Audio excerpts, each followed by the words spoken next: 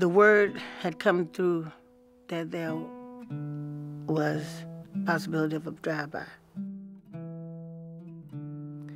I remember her screaming and saying, don't hurt him. I remember that. The doctor, as well as the sheriff, were all in this together, and they, they worked very hard to cover it up.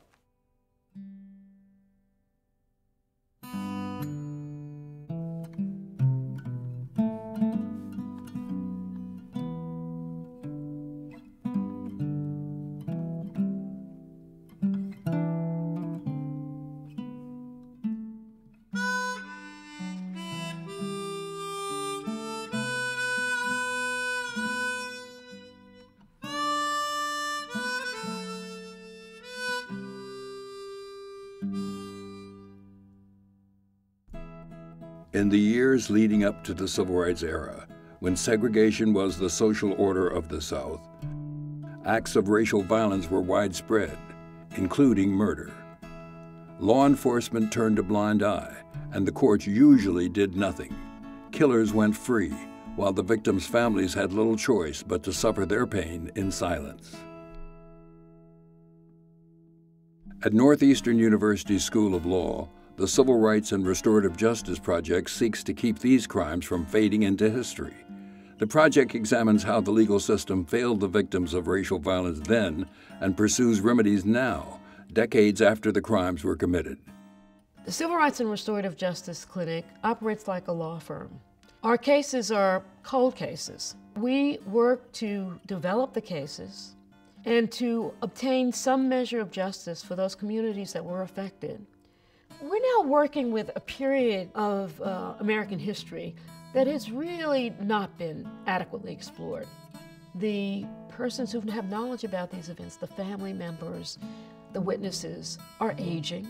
The documents are disappearing. And if we don't do this now, this piece of our history will be lost to us and to future generations.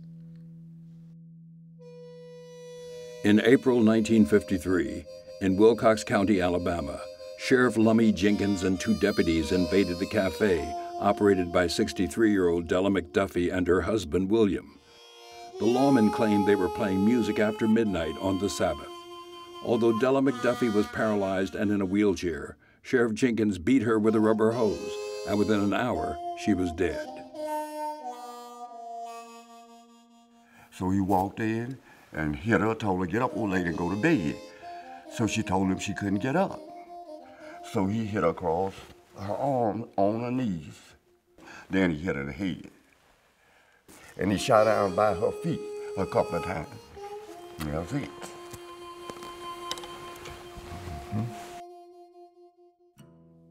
I went down to Alabama to conduct some research on the Della McDuffie case. I dug up the file from Thurgood Marshall to the current head of the Department of Justice asking for him to look into the McDuffie case. But at the time of Della McDuffie's murder, Marshall was working on the case of Brown versus the Board of Education, which the Supreme Court decided in 1954. The McDuffie case did not get enough attention from the NAACP, and the Justice Department refused to prosecute the sheriff. So I retrieved the FBI file related to the case from the National Archives. I received a citation for it I saw a lot of affidavits with witness testimony, including people who were in the cafe that evening, the undertaker, the doctor, Sheriff Lummy Jenkins, and Della McDuffie's husband and son. William McDuffie gave a statement to the FBI. I could see him striking at one person, then another with the hose-like weapon. I saw a number hit with the weapon in Sheriff Jenkins' hand. But Dr. Robert E. Dixon's statement reads, I can definitely state that the cause of death was not brought on by any injury to the head, such as a blow. This case essentially was a cover up, and it never went to court. A year into the investigation, her husband William was found dead by his two grandchildren. I found my grandfather, and it appeared that he had been killed by, by way of drowning. They killed him because of the intensity of this investigation. They tried to get him to change his mind, and change his statements like everyone else did. He refused to do that. Uh, and they took care of it. There was house fires. Our house was burned down two times. There had been other threats. This man came to the door and he said, You need to get your family and leave here. He said, They are going to kill you. And we left in the middle of the night. They left the house completely furnished, cars, everything was intact. We left just like that. For 32 years, Wilcox County, which was largely black, was Sheriff Lummy Jenkins' personal empire. He gained notoriety for playing by his own rules, legal or not. Lummy Jenkins was known for the way he he enforced law here in Wilcox County. And, uh, and he did it with an iron hand. They followed their own rules, not so much what the law said. Uh, it was tough on, on certain people, especially black folks. Lummy was a, a good sheriff, but uh, somebody else may have a different opinion. The McDuffie story is, in fact, it's a story of violence, it's a story of secrecy, uh, it's a story of banishment. This repeated silencing is a large part of, of what we try to address in our project.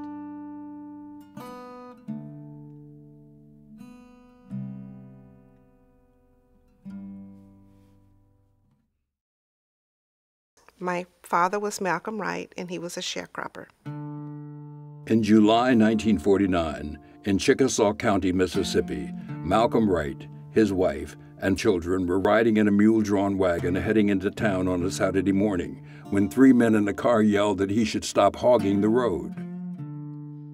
And we were just riding along, doing our normal singing our songs.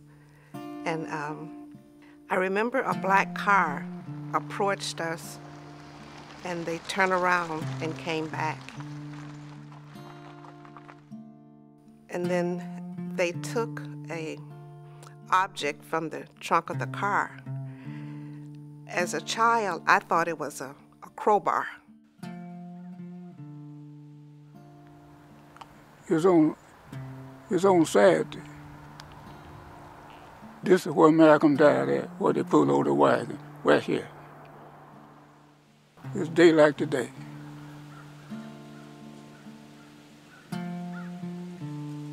Yeah, done hit him in the head with a with a with a car jack, so they told me.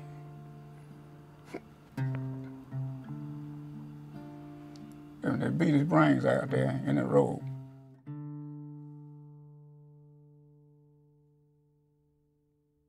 So at the beginning, I just had an article that just mentioned that Malcolm Wright was killed in Houston, Mississippi. I researched online and found various news articles from the 1940s, 1950s. The Historical Genealogical Society, they also had various articles on Malcolm Wright. In the Malcolm Wright case, our student found every single one of the living sons and daughters of Malcolm Wright, brought this story back to them. No one had ever talked to the Wright children about what happened to them. James Moore went on trial for his life in the Bumperjack murder of Malcolm Wright. Named in the original indictment were James Red Kellum and Eunice Gore. My older sister and Henry, they allowed them and my mom to testify, but they didn't allow the three younger children to testify. When Henry got ready to testify, the judge told him, You make sure you tell the truth. And and you refer to me as Mr.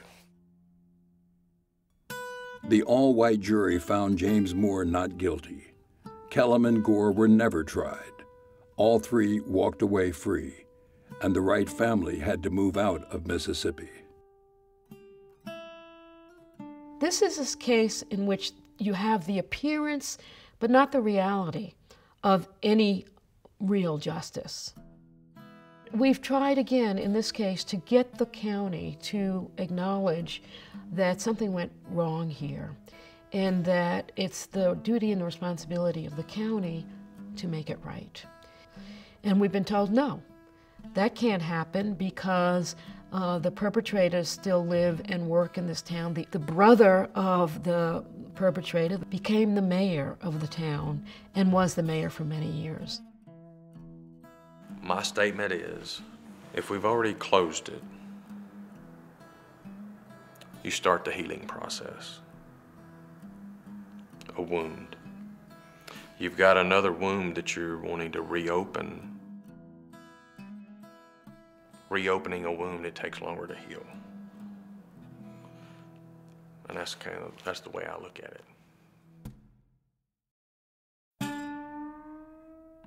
We was all in, having fun, playing music, and this particular record came on. And my cousin said, Do you want to dance? We heard a lot loud noise. All of a sudden, he turned my hand loose and fell to the floor and I heard people saying, "They just killed that boy." And I looked down on the floor, and he was laying down there. October 1955, Mayflower, Texas. Two men, Perry Dean Ross and Joe Simpson, went on a drive-by shooting rampage through the black part of town and fired nine shots into a cafe. Came on down the road and shot in the school bus my dad drove in the car, our car, and came on up May- Mayflower, you know, shooting.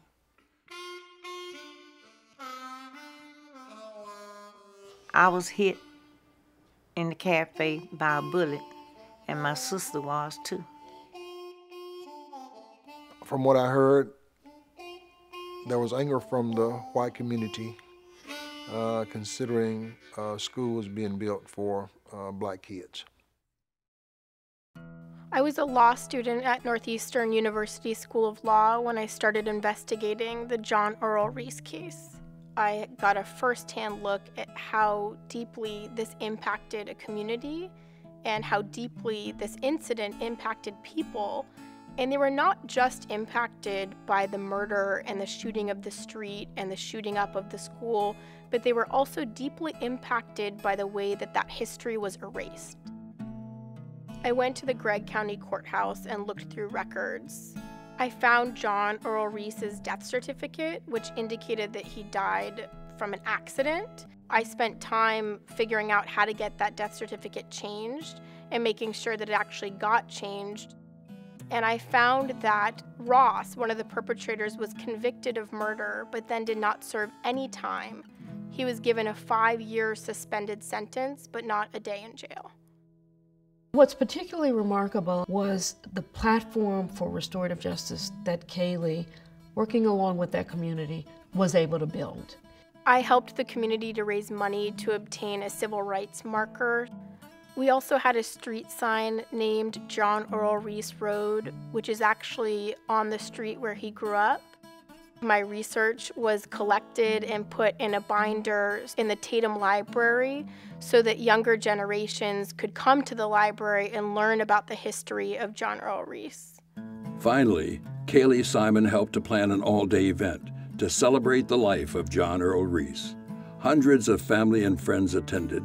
The gravestone was unveiled, the civil rights marker was revealed, the street sign dedicated, a painting commemorating John Earl Reese was presented, and at the Tatum Library, a plaque dedicated. Speeches were made, and finally, everyone sat down for a meal together at the community church. And we were so proud to participate in the John Earl Reese Memorial. It was a wonderful event, well attended, and everyone there walked away with a, a blessing in their heart. After so many, many years, even as time went by and everything, that soon it was time for justice. something happened in this community, and it was important enough that we came together, and there is a marker. And then just across the road there is John Earls Lane. Oh, yeah. Oh, yeah. The CRRJ Clinic is really at the heart of Northeastern's unique approach to legal education, which is that students learn not only from books, but they learn by doing. I feel so lucky as a law student to have come down here and to be welcomed by this community. And I want to make it my life's work to make sure that this is never forgotten.